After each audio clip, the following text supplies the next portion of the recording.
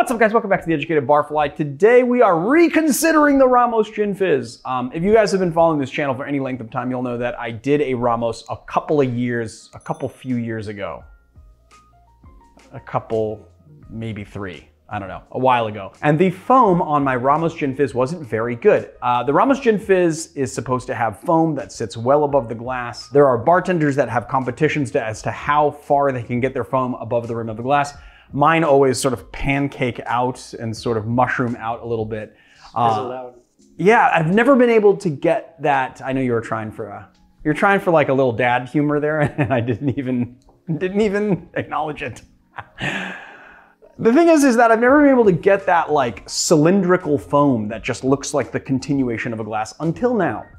So I'd like to say that I developed this kind of new, but I didn't really develop it new. The thing is, is that I went through a bunch of bartenders, uh, asked a lot of advice, talked to my, uh, at the time was uh, my general manager, Brian at Coles, and we kind of discussed like, what are the main points of the Ramos Gin Fizz? He showed me some of his things and I sort of bastardized it into my own sort of technique.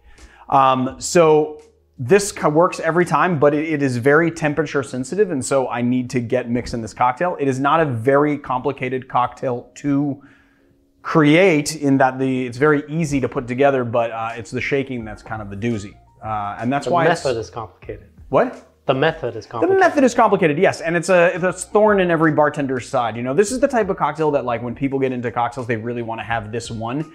It's kind of seen as like sort of the mecca of cocktails, but Nobody wants to make it. All right, let's do it. So first thing we're gonna do is half an ounce of simple syrup.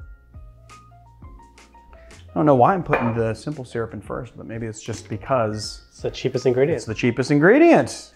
Three eighths of an ounce of lime juice. Three eighths of an ounce of lemon juice.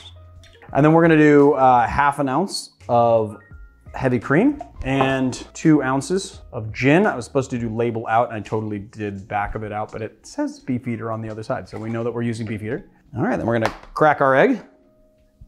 I didn't get a good enough crack there. There we go. Ooh, this is a nice one. It didn't like shatter the way it does. And separate our egg white into this tin. The reason why we do that is so if we mess it up and get egg yolk in there. Or shell or shell, we don't mess up our cocktail, right? Um, oh, I'm gonna actually save this yolk to have a prairie oyster later. And then we're gonna give it a nice hard dry shake. So this is a cocktail you basically can shake for as long as you want because we need to hand whip the heavy cream that's in here. I'm not gonna get into the history now, but we're gonna talk about the legendary shaking technique that makes the Ramos so infamous. So you can shake for a good long while.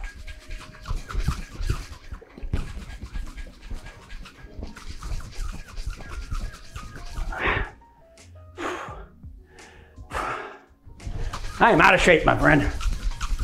All right. So I pre-froze my glass. And what we're gonna do is uh, put in about an ounce and a half of soda into the bottom of this glass. Then we're gonna take our cocktail and we're gonna throw it into the glass. And we're gonna throw this back in the freezer for 10 minutes.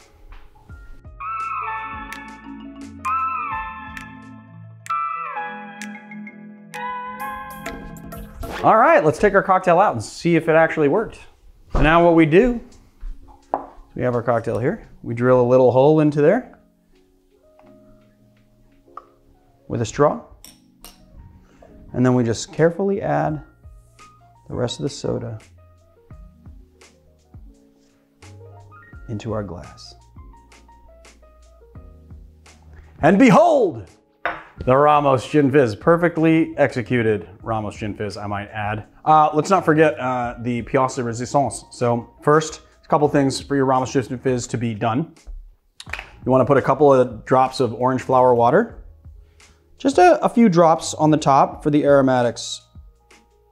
And the varnish does, and I like to do a little orange twist on the top as well.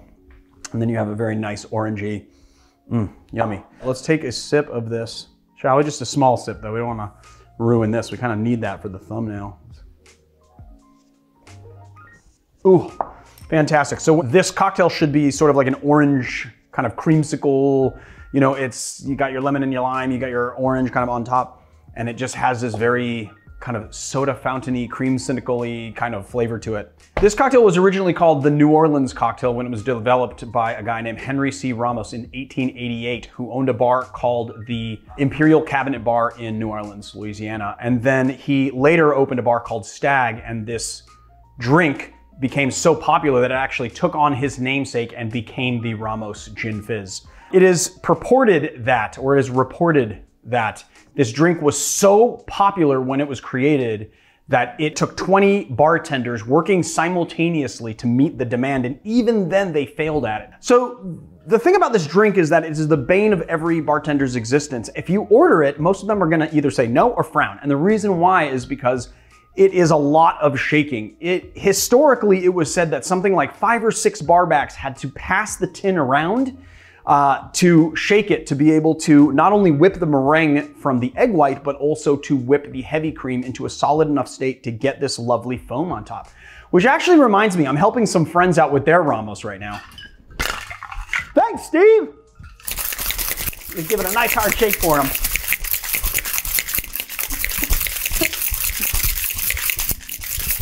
Hey, my smile is going to give you a run for your money, buddy. All right, here you go, Vlad. And there you have it, the Ramos Gin Fizz. If you like our channel, please like and subscribe and check us out on Patreon and YouTube memberships. We've got merch. Uh, so go to our uh, shop at theeducatedbarfly.com and also you can take part in our virtual bottle program. Uh, our virtual bottle program where you can uh, buy us some bottles of alcohol and have your name and shout it out in every video we use it. And I'll see you guys on another time.